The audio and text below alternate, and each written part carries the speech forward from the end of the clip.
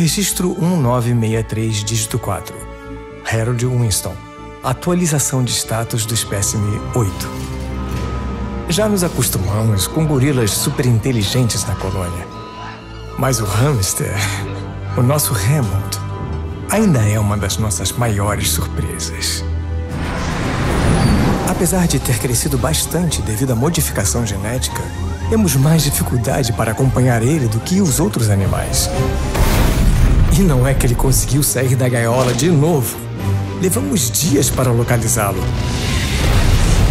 Eu fico imaginando o que será que ele procura quando sai por aí. Ele já demonstrou uma capacidade impressionante de resolver problemas e de se adaptar a novas situações. E ainda superou todos os desafios que apareceram pela frente.